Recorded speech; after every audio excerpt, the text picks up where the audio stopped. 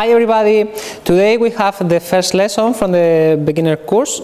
Uh, we have done one exercise about the connection with the patna, okay? Just put your hands uh, together and you have to transfer the weight one side to the other side. The ladies are, are doing that are doing that thing like a mirror, okay? And you can stay on one foot and just go and always try to have the same tension and the same distance between the hand and the shoulders okay? You can go to the front but you can go backwards too okay?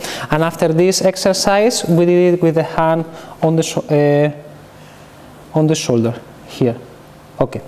After that we did our basic step uh, we do it like in a mirror like in a mirror. So if the guys are going with the left uh, with the left foot backwards, the ladies are going with the right uh, forward, and we go one step long. The next step is a little bit shorter, and we come back to the left foot, and the ladies to the right, and we go one step long, two short, and we come back. One, two, three. One, two, three. One, two, three. Okay. The, if we are with a lady, we try to have our hand on the shoulder blade. The ladies are keeping the weight of the arm here over the shoulder and we have the hand of the lady like here. Not very high, we have to look for the shoulder of the lady and we bring the hand a little bit lower. And just transfer the weight. You have your right foot between the foot uh, of, between the feet of the lady and you go backwards one, two, three, one, two, three, one. After that, we have seen the left turn. For the ladies, we go with the left foot. After that, we go with the right, and we come back. And one, two, three, one. And there is another thing for the leading.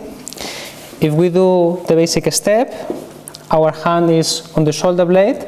If we want to do the turn, we bring our hand here and we have to press a little bit and paint a circle with the left hand. One, two, three, and you do the basic step again. For the ladies, you have to hold your arm here, okay? And you have to feel the hand of the guy, so you can bring your arm over the arm of the guy, okay? So, thank you very much and see you next week.